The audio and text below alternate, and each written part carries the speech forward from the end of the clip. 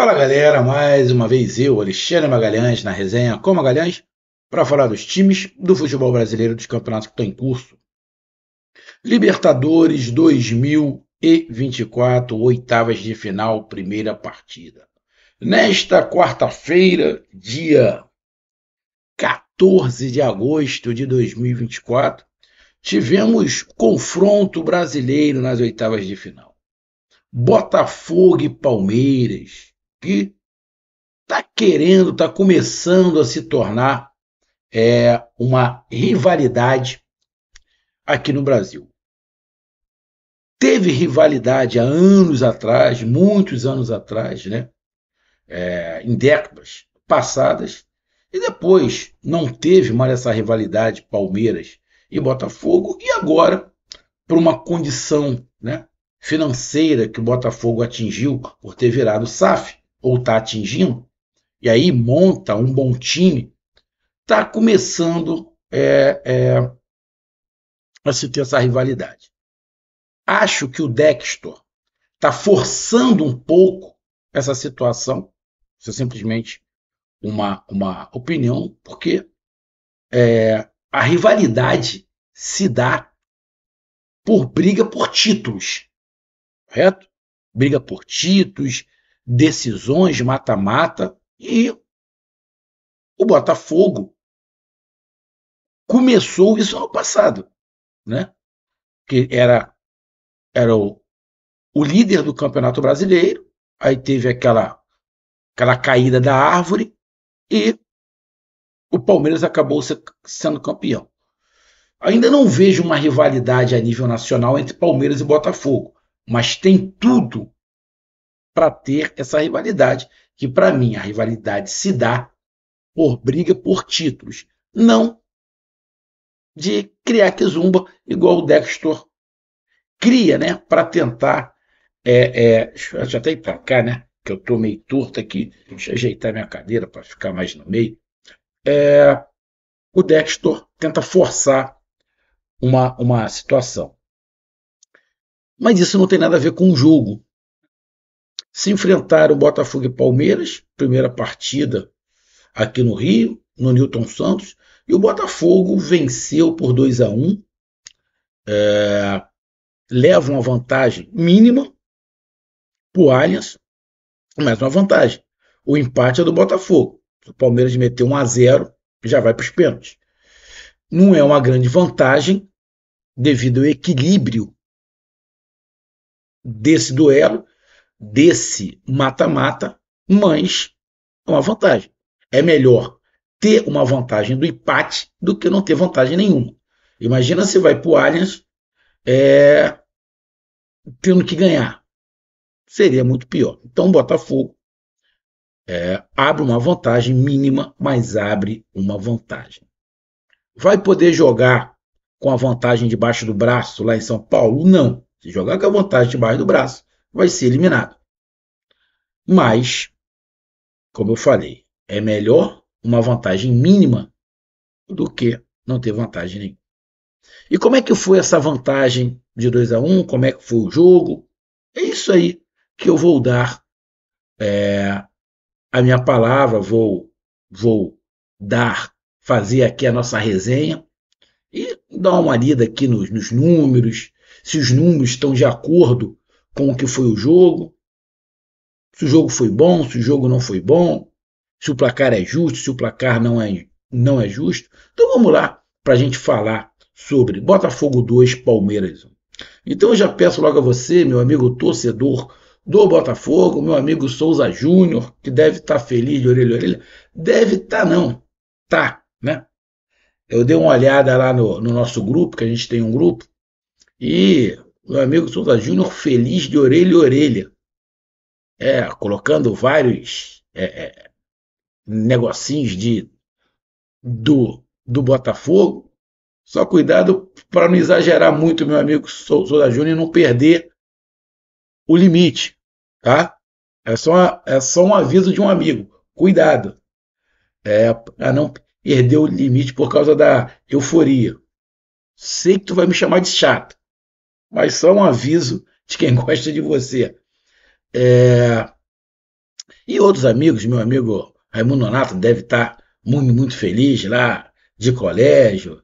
Os colegas aí da, da minha turma também devem estar muito, muito felizes que no, no outro grupo que eu tô, a galera é, é, é, botando, né? Botafogo, segue o líder, pá, coisa e tal. Isso, isso é bom. Isso é bom, isso é legal. O futebol é justamente para isso, para alegrar. Nem sempre alegra, mas é bom para isso. Então eu peço a você, meu amigo torcedor do Botafogo, meu amigo torcedor do Palmeiras, que deve estar tá triste, mas eu acho que a torcida do Palmeiras está triste, mas não está tanto quanto foi em relação ao jogo contra o Flamengo. A torcida do Palmeiras no jogo contra o Flamengo aqui no Maracanã, irmão, a torcida estava soltando marimbondo, porque a partida que o Palmeiras fez contra o Flamengo foi de chorar, foi de dar vergonha diferente da partida de hoje contra o Botafogo. Diferente da partida. O Palmeiras foi muito, mas muito melhor nesse jogo contra o Botafogo do que foi contra aquele contra o Flamengo, né? Então, acho que a torcida vai ficar triste, mas eu tenho quase certeza que a torcida do Palmeiras vai ficar muito mais esperançosa na classificação em casa do que ficou contra o Flamengo. E contra o Flamengo, a gente viu o que, que aconteceu lá, Palmeiras e Flamengo. Palmeiras, por pouco, não leva para os pênaltis. E tinha uma desvantagem de dois gols. Né? Então acho que a torcida do Palmeiras está triste, mas está menos, menos com raiva do que ficou no jogo contra o Flamengo. Então eu peço a vocês que vocês curtam, compartilhem, inscreva-se no canal, dê o seu like, ative a notificação, coloque os comentários. Entre no nosso WhatsApp, que está aqui embaixo da descrição do canal. Você vai lá do seu nome, o time que você torce, que eu coloco você no grupo do seu time. Só para lembrar, para falar de futebol, não é para falar de política nem de religião. E se você quiser ajudar o canal a crescer, você pode ajudar através do Pix, que é número do nosso WhatsApp, você pode ajudar através do Pechat, quando estiver fazendo lives, e você pode ajudar através do clube de membro do canal Resenha com Magalhães aqui embaixo de azul. E agora você pode ajudar através do Valeu, que é esse coração com cifrão está do lado de compartilhar, beleza? Mais uma coisa, não deixe de se inscrever no canal, que é mais da metade da galera que acompanha o canal não é inscrito. Então dê essa moral pro canal, inscreva-se no canal. Então vamos lá, cara. Deixa eu ir aqui rapidamente, dar uma olhada. É... Ih, rapaz, eu não consegui aqui, deixa eu ver se consigo abrir aqui para mim dar uma olhada nos números dessa partida. Aqui, pegar aqui, Libertadores. Libertadores. Ih, rapaz, eu tô sem óculos, não tô enxergando nada. Deixa eu botar o óculos aqui para me escrever Libertadores. Libertadores aqui. Vamos lá. Para mim dar uma olhada em 2 a 1 um, né? É... Botafogo. Vamos lá. Bom, o Botafogo deu 10 chutes, o Palmeiras 7. Bom, já é uma evolução. Palmeiras. O Palmeiras contra o Flamengo, se não estiver enganado, deu um chute contra o Flamengo. Um. Porra, contra o Botafogo já deu sete. Contra o Botafogo, o Palmeiras fez um gol. Ou seja, é, a torcida do Palmeiras está chateada com a derrota, mas, cara, tem certeza que ela vai falar, pô, não foi aquele fiasco que foi contra o Flamengo. Não tem como não lembrar. Tá? Não tem como não lembrar. Botafogo deu 10 chutes, 3 em direção ao gol. E o Palmeiras também 3 em direção ao gol. Aí você vai pegar, vai olhar, vai falar: porra, Botafogo foi superior ao Palmeiras, não foi? Foi. Botafogo foi mais perigoso? Foi, foi mais perigoso. Sem soma de dúvidas. Pô, mas em direção ao gol chutou três. Ué, por que será? Bom, dá 10 chutes, três em direção ao gol, porque o jogo foi mais equilibrado. Ou eu estou mentindo? O Botafogo te, teve mais chance? Teve uma antes do gol, teve uma bola do, do Luiz Henrique que passou rente à trave. Aí teve o gol de cabeça do Luiz Henrique. Teve uma bola do Igor Jesus. No segundo tempo, teve, teve uma cabeçada no, no, final do jogo. Acho que foi o Alexander Barbosa que cabeceou sozinho. Criou algumas oportunidades. Mas era um jogo onde o Botafogo poderia ter goleado o Palmeiras? Não. Não acho que foi um jogo que o Botafogo poderia ter goleado. O Botafogo, para mim, foi superior, mas não para golear. Não para golear. Poderia ter feito é, é, é, Um 3 a 1 talvez? Sim, poderia. Será que se o Estevão tivesse inteiro, é, o jogo seria diferente? Com certeza. Se o Estevão está inteiro, o jogo seria diferente. Porque o Estevão entrou no segundo tempo e fez umas duas jogadas ali, uma que passou na frente de todo mundo. Se tem um jogador do Palmeiras na pequena área, empatava o jogo. Então, provavelmente, na próxima semana, o Estevão vai estar mais inteiro. Né? É, então, cara, foi um jogo que o Botafogo teve superioridade, mas em direção ao gol chutou pouco. Teve o gol de cabeça e mais dois. Ali o Everton pegou, teve o outro gol, né? né que entrou e mais um em direção ao gol. Na mesma quantidade, o Palmeiras. Então, como eu falei, o Botafogo foi superior, mas não foi, na minha opinião, superior para golear. Principalmente pelo que o Botafogo fez no segundo tempo, que a gente vai falar. Posse de bola: 52 para o Botafogo, 48 para o Palmeiras. Equilibrado. E aí não tem como eu não lembrar do jogo mata-mata. Ah, Magalhães, por que, que você não lembra do jogo Palmeiras e Botafogo pelo Campeonato Brasileiro?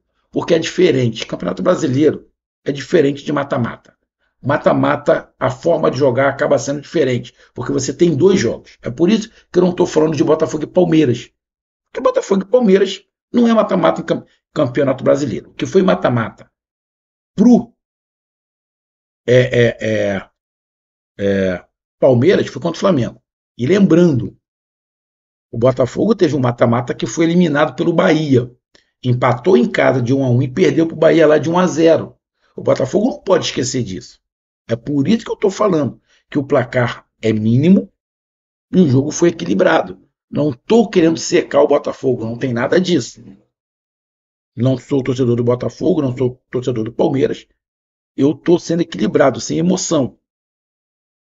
É, então, a posse de bola foi quase equilibrada. E olha, e olha, que o Palmeiras está com um problema grave no ataque. O Palmeiras tem um problema grave. O Botafogo, sim, tem alguns desfalques, como um desfalque pesadíssimo, que é o Júnior Santos. Mas o Palmeiras está com um problema grave de ataque. Problema grave de ataque. Que atrapalha muito o Palmeiras. Aí você pega precisão nos passes: 81 para o Botafogo, 79 para o Palmeiras. Bem equilibrado. Faltas. O Botafogo fez mais. Na verdade, é, é o estilo do Botafogo. O estilo do Botafogo é mais ou menos o estilo que o Diniz colocava no Fluminense. Vocês estão lembrados? O estilo do, do, do Diniz no Fluminense era parar o adversário na falta, fazer um rodízio de falta. E o Botafogo tem. O Botafogo geralmente nos seus jogos, ele está fazendo mais faltas que o adversário, justamente para parar a jogada. É um estilo. É, fez 14 faltas, o Palmeiras 9. Cartões amarelos, 3 para cada lado. Ah, o cartão amarelo do Estevão, sinceramente, eu não sei por que, que foi. Mas, achei estranho, mas é só um ponto de vista. Cartões vermelhos nenhum. Impedimentos 4 para o Botafogo, 1 para o Palmeiras. Inclusive, um dos contra-ataques do Botafogo foi o que saiu o gol. Foi o que saiu o gol né? Que o, o, o Palmeiras estava na frente, escanteios 4 Botafogo, 1 Palmeiras. Bom, primeiro tempo, jogo muito acelerado. Botafogo começou muito acelerado, sufocando. O Palmeiras jogando com três zagueiros. É, o Palmeiras gosta de fazer uma marcação encaixada, de vez em quando, quase homem a homem. Não estava conseguindo, estava meio perdido a marcação do Palmeiras. E o Botafogo foi melhor. Acelerou, colocou intensidade, colocou o Palmeiras nas cordas é, o Palmeiras não estava conseguindo encontrar, tava, a defesa do Palmeiras, o sistema defensivo estava meio barata voo.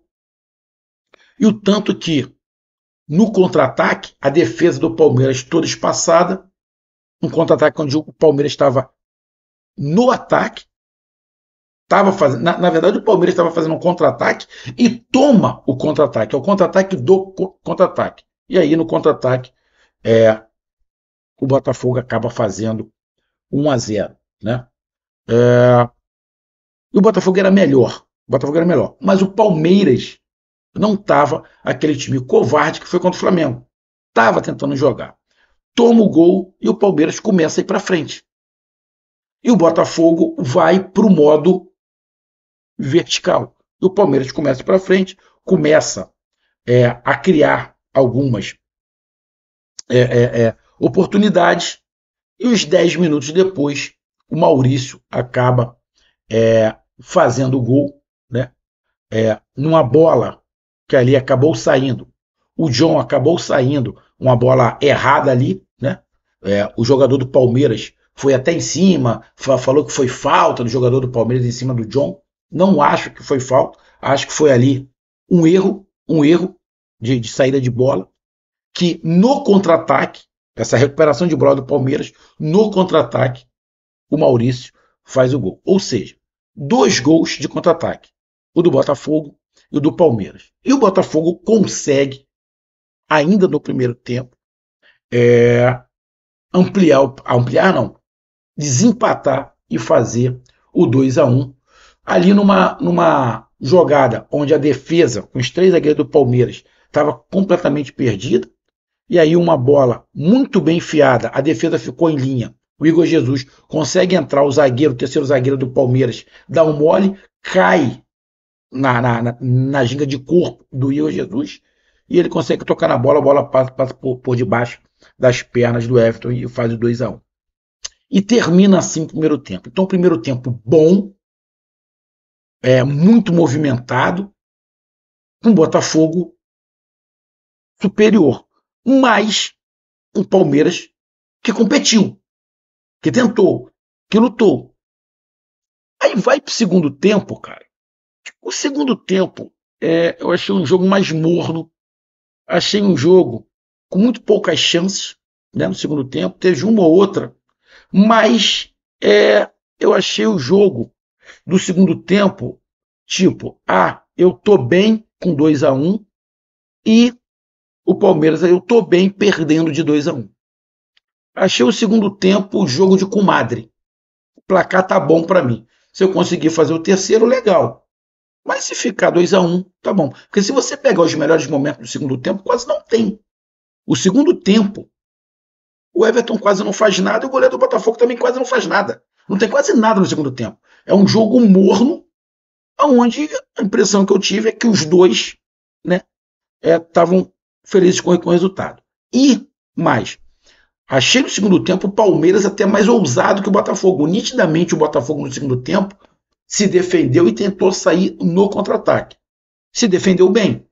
E aí, para terminar aqui, é... só para fazer uma comparação. Hoje, tecnicamente, acho o time do Botafogo superior do Palmeiras, principalmente no ataque. No ataque, o Palmeiras está com problemas. Voltando o Estevão, vai dar uma equilibrada. Mas você ter um ataque, na boa, com a Libertadores, com o Rony Flaco Lopes, você não está querendo ir muito longe. Você não está querendo ir muito longe. Porque é limitado o Flaco Lopes e o Rony ali. O Rony é para compor.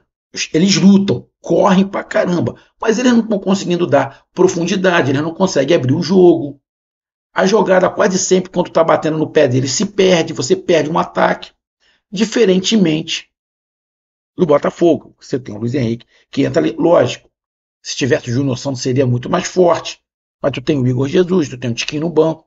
Ou seja, acho o time do Botafogo hoje, hoje, fazendo um apanhado total, é tecnicamente superior. E vejo alguns jogadores do Botafogo hoje tecnicamente vivendo um momento tecnicamente superior. Então eu vejo o Botafogo é, num viés de crescimento e eu vejo o Palmeiras num viés de estagnação, parado. Eu não vejo um Palmeiras em queda, mas eu vejo um Palmeiras que está estagnado, que vai precisar de alguma coisa a mais na próxima partida. E talvez essa uma coisa a mais seja justamente o Estevão. Então, cara, na minha opinião, bom jogo, muito melhor no primeiro tempo que no segundo. O segundo tempo, para mim, foi um jogo de comadre, né? é, onde está tudo em aberto. 1 a 0 leva para os pênaltis. Não achei jogo para goleada, não achei. E para terminar, é, de vez em quando eu fico envergonhado pelos jogadores brasileiros, né? Os jogadores brasileiros me dão vergonha. Aí tu vai falar, pô, por que, Magalhães? Pô, cara, é um caicai, é um caicai, é, porra, feio, cara. Jogadores brasileiros caem à toa. Cara, teve o lance do Rony. O jogador do Botafogo botou a mão no pescoço dele. Ele botou a mão aqui, ó, cara. Botou a mão aqui. A mão foi no, no pescoço, ele botou a mão aqui. Teve um do Botafogo também. O, o, o, o jogador do Palmeiras, o Murilo, passou a mão na barriga dele. Porra, a impressão que deu é que tomou um soco. Ele também meteu a mão na cara. Porra, bicho. Cara, se eu sou treinador, eu ia dar esporro o tempo inteiro. Isso é feio. Aí pega um árbitro que não marca essas faltinhas igual aqui no. Por que, que no Brasil a arbitragem é ruim? Então, os jogadores brasileiros simulam o tempo inteiro e o árbitro marca falta. Aí pega um jogo internacional, onde ele não marca falta, o jogador passa vergonha e fica reclamando. E para terminar aqui, Botafogo ganhou, Luiz Henrique está jogando muito, mas na boa. O que o Luiz Henrique fez no primeiro tempo tem que tomar um esporro. Teve um lance pelo lado esquerdo, independente se o juiz não marcou a falta. Próximo à linha lateral, e o cara dá um trancão nele, Luiz Henrique sai de campo e abre os braços reclamando. O juiz não marca a falta. O jogador do Botafogo fica pedindo para ele voltar para o campo para ajudar a marcar na saída de bola. O Luiz Henrique faz assim, ó. Caga seu companheiro de, de equipe e caga pro time. Já tá subindo a cabeça, Luiz Henrique? Tá subindo a cabeça? Porque, porra, foi no primeiro tempo, ele tava no ataque pelo lado esquerdo. E o, e o jogador do Botafogo querendo marcar lá, pedindo para ele voltar para ajudar a marcar, e ele, ó, cagou ainda, fez assim, companheiro. Merece um esporrinho, merece. No mínimo um esporro. Isso não é coletividade. Bom, Luiz Henrique é bom jogador. Não acho Luiz Henrique muito acima da média, igual eu vi um comentarista falando. Ele é muito, não, não acho ele é muito acima da média. Muito bom jogador. Acima da média de jogadores aqui do Brasil, sim, acima da média. Muito acima da média eu não acho não. Muito acima da média eu acho que é um outro, é um outro patamar. Muito acima da média é um outro patamar, que eu acho que, na minha opinião, não é o Luiz Henrique. Mesmo a nível de Brasil, acho ele muito bom jogador, acima da média, mas muito acima da média, eu não acho não. Então tá aí a minha análise. Um grande abraço, até mais, valeu. Tamo junto, fui.